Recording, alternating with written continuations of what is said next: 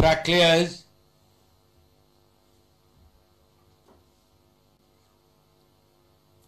They're racing for the honor handicap, slowing to the stride, losing about four lengths at fantastic hit.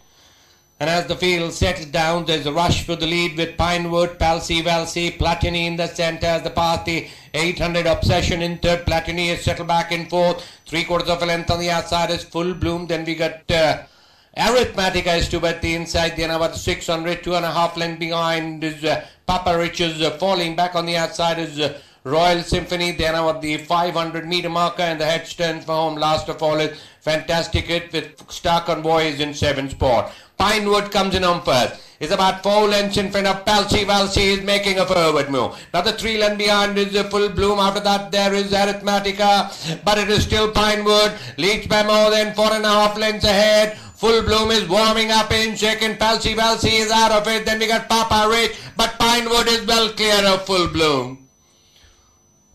Pinewood winning it easily from Full Bloom. Then we got Arithmetica finishing third ahead of Papa Rich, Palsy Valsy, Platini, Royal Symphony, Star Convoy, Fantastic Hit, last one home.